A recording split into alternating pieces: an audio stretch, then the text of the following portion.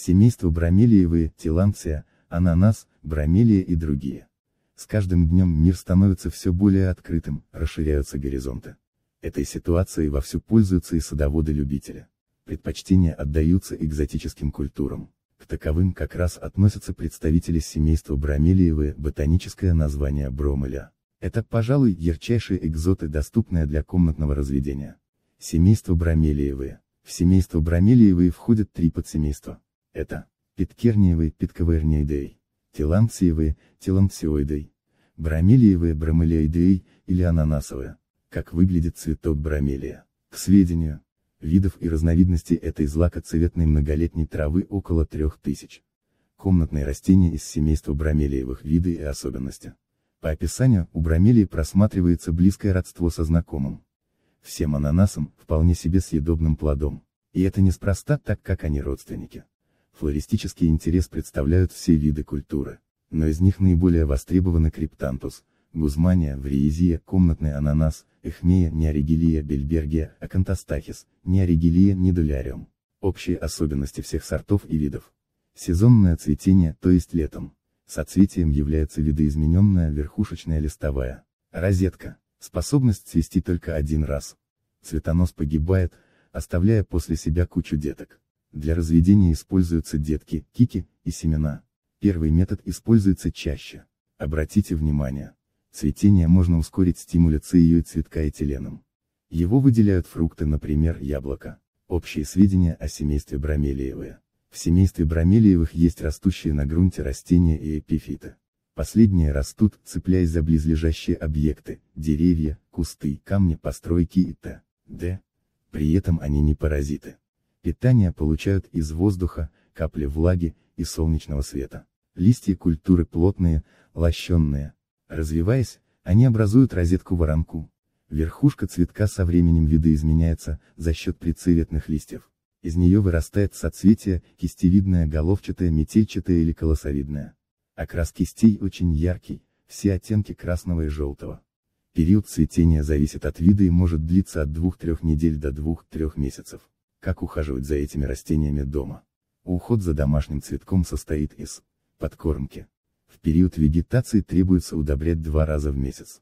Подойдут комплексные удобрения для комнатных цветов. Зимой достаточно один раз в 1,5 месяца. Полива. Учитывая произрастание в тропиках, растения нужно увлажнять регулярно. Обрезки. Это касается отцветшего цветоноса. Пересадки. Только при необходимости. Если горшок стал мал, важно. При посадке, пересадке следует позаботиться о дренаже. Температура, влажность, свет. Экзот нуждается в длительном световом дне не менее 12 часов в сутки. Требуемый температурный режим, летнее время, 20-25 в период покоя 15-18 Оптимальная влажность 70%. Полив проводят через поддон и регулярное опрыскивание. Оптимальный грунт для бромелиевых. Основное требование к почве – рыхлость и легкость. Грунт для бромелиевых можно приобретать в магазине, а можно приготовить самостоятельно. Хороший субстрат получится из листовой земли, второго части, перегноя и торфа по первого части речного песка 0,5 части. К сведению, приветствуется обогащение базовой смеси древесным углем, мхом, сухой хвоей. Тиланция растения без корней. Тиланция растения без корней. Они нужны исключительно для крепления к соседним объектам. Питание растения получает из влажного воздуха. Оно поступает сквозь трихомы, волосяные чешуйки, устилающие листовые пластины. Эпифит. Особенности ухода за атмосферными бромелиевыми. Без усилий вырастить эпифит невозможно. Нужно создавать для него особый микроклимат, постоянную влажность не ниже 75%. Горшок с грунтом им не нужен, но корни цветка должны иметь прочную опору. Это могут быть камни древовидные домашние цветы, только влаголюбивые. Важно, не рекомендуется оставлять корни в воде. Пересадка атмосферных теланций. Пересадка как таковая не про теланцию без корней. Разве что нужна замена опоры, например транспортировочную кору на камень. Многообразие видов атмосферной теланции. Видов теланции воздушной много, но самые популярные из них – уснеевидная, теланция гардинера, теланция бульбоза, теланция серебристая, теланция голова медузы, теланция ситниковая, теланция фиалка цветковая, теланция, торчащая, трехцветная теланция, Тиланция луизианский мох. Ананас как комнатное горшечное растение. Домашний ананас, бромелия ананас, это съедобный сорт культуры. С 17 выращивается в зимних садах именно в этих целях. Домашний ананас, для комнатного выращивания востребованы два вида. Ананас хохлатый, ананас камасас, ананас предцветниковый, ананас брактитас. Плод довольно крупный, 30 см. Полное созревание происходит в течение полугода. У зрелого ананаса кожура желтая, мякоть светло-желтая. На вкус она сладкая с кислинкой. Ухаживать за комнатным ананасом несложно. Для получения плодов требуется пересаживать раз в два года в горшок побольше. Важно, заниматься пересадкой лучше в перчатках, чтобы не уколоться о шипы. Температурный режим, влажность и освещенность. Для экзота допустимый температурный режим от 16-17 до 25 градусов. Ананас дома в горшке следует размещать в хорошо освещаемом месте. Световой день должен быть не менее 8 часов в сутки, допустимая влажность от 65%. Режим полива. В период вегетации полив требуется обильный, но после полного просыхания верхнего слоя почвы. Зимой он должен быть очень редкий, не более раза в месяц. Вода для полива берется теплая отстоянная. Желательно регулярно опрыскивать, особенно в жару, так как выращивают ананасы в теплом, влажном климате. Грунт и удобрения. Ананас хорошо растет на кислой рыхлой почве. Идеальной будет смесис. Перегноя, второго части. Дерна третьего части. Речного песка первая часть. Торфа третьего части. Подходят любые удобрения для цветущих растений. Гузмания, гусмания, описание растения и цветок. Что такое гузмания?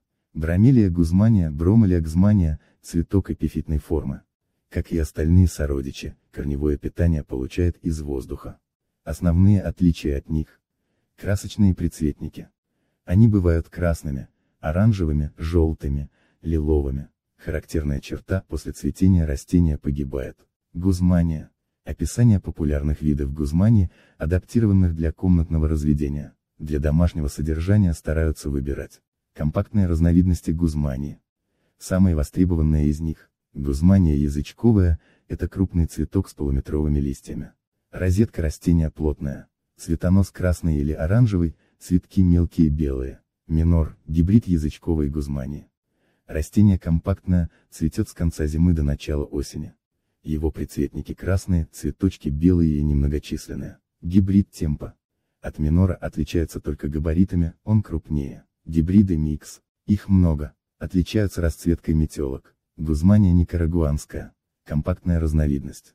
Розетка состоит из длинных, плотно сложенных листьев. Колосовидное соцветие светло-красное. Цветки ярко-желтые. Гузмания канифера. Крупногабаритный цветок с высоким красно-желтым соцветием. Гузмания Даниэла Смита. Соцветие плотное метельчатое. Цветки ярко-желтые, чешелистики ярко-красные, одноколосая. Очень декоративная розетка. Составляющие ее длинные листья снизу вверх меняют оттенок от светло-салатового до зелено-желтого. Цветонос тоже меняет цвет от зеленого до красного, алого, оранжевого. Сами цветочки белые, а стара – гибрид язычковой гузмания и гзмания витмаки. Долго цветущий эпифит с бордовым прицветником. Триколор, его отличает красота полосатых листьев. На зеленом фоне четкие белые и красные полосы.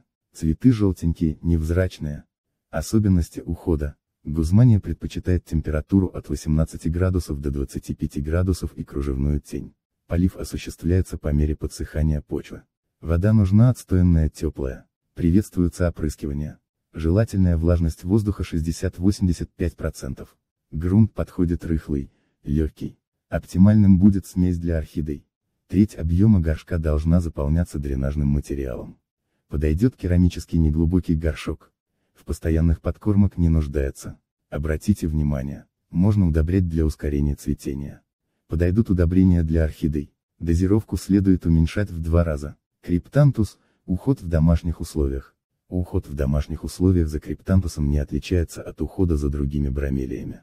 Для них главное – тепло и влажность. Хорошо растет внутри стеклянных вазонов. Криптантус, к сведению, вид используется для оформления флорариумов, террариумов. Описание цветка, главное отличие, разнообразие расцветок листьев. Они бывают белыми, розовыми, бордовыми, желтыми. У данного вида нет цветоноса. Верхушечные листья образуют звездочку. Требования к влажности и температурному режиму. Оптимальная температура содержания 18-25, влажность от 70%.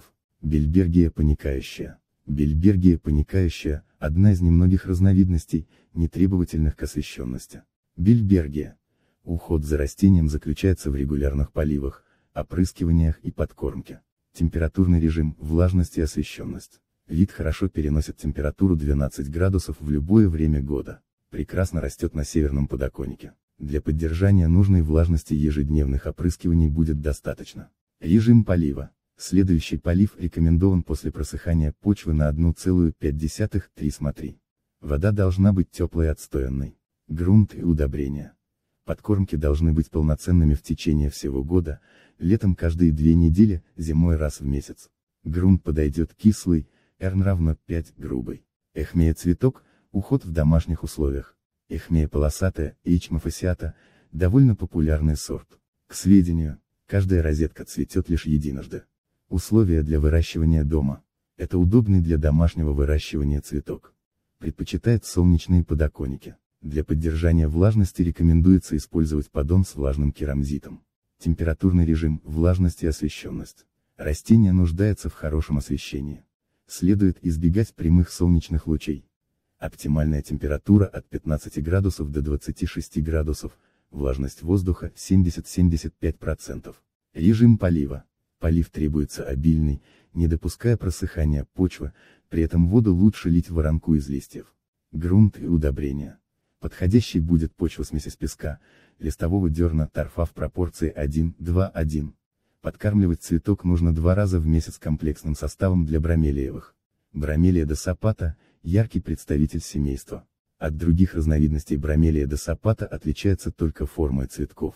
Они напоминают туфельки на стебельке из чего состоит уход, полив, подкормка, опрыскивание. Досапата. Температурный режим, влажность и освещенность. Хорошо растет при температуре от 15 градусов до 25 градусов, влажности около 65%. Нужен рассеянный свет или полутень. Режим полива. Полив нужен после полного высыхания верхнего слоя почвы. Приветствуется регулярное опрыскивание. Грунт и удобрения. Подходят удобрения для цветущих растений. Грунт нужен рыхлый, грубый, кислый. Вриезия астрид. Описание растения и особенности ухода. Вриезия астрид, бромелия имеет около 100 разновидностей. Все они рослые. В зависимости от сорта окрас листьев может быть разным, зеленым, полосатым, фиолетовым, багровым. К сведению, в возрасте 3-4 лет вступает в цветение. Колосок может быть однотонным и разноцветным. Растение после цветения погибает. Вриезия блестящая. Вриезия блестящая, или королевская Врайса регина, сорт, который отличается блестящими длинными листьями. При высоте цветоноса в двух метрах листья вырастают до одного метра и длиннее. Соцветия метельчатые со светло-желтыми ароматными цветочками. Прицветники розовые. Вриезия спленденс. Вриезия спленденс, Врайсия спленрайт, самый красивый представитель бромелиевых. Воронкообразная розетка из листьев вырастает почти до 0,8 метра. Сама листовая пластина может быть поперечно-полосатой. Края ее загнуты. Цветонос длинный, соцветие колосовидное крупное ярко-красное. Желтые цветки раскрываются постепенно. Неоригелия – уход в домашних условиях. Уход за культурой в домашних условиях необременительный. Оптимальным для нее будет рассеянный свет, влажность не ниже 60% и температура 16-25 Полив летом лучше проводить по розетке. Желательно поливать ежедневно, зимой реже и под корень. Удобрять можно раз в месяц. Подойдет специальный состав для бромелиевых. Неоригелия, ботаническое описание и естественные условия обитания. В естественной среде целыми плантациями произрастает в тропиках. Колумбии, Перу, Бразилии, Эквадора. Может расти без почвы и на грунте. Листья культуры широкие длинные с зубчатой кромкой. Центральная часть розетки светлая. Перед появлением соцветия верхушечная розетка становится бордово-красной. Кисточки вырастают из листовых пазух. Виды и сорта для выращивания в домашних условиях. В комнатных условиях можно посадить такие сорта. Неоригелия каролина, нереджеля. Каролиной. Неоригелия мраморная, нереджеля мармарата. Неоригелия мрачная, нереджеля тристис. Неоригелия красивая, или нарядная. Нереджеля спектабилис. Неоригелия немного цветковая, нереджеля пассифлора. Неоригелия отпрысковая Неореджелия сарментоса. Неоригелия. Пузырчатая Неореджелия ампаласа. Неоригелия синяя Неореджелия океанea. Неоригелия тигровая Неореджелия тигрина. Среди обилия сортов вполне можно найти растения по душе. Презентация изученных на сегодняшний день разновидностей, представленная выше в статье, поможет с выбором.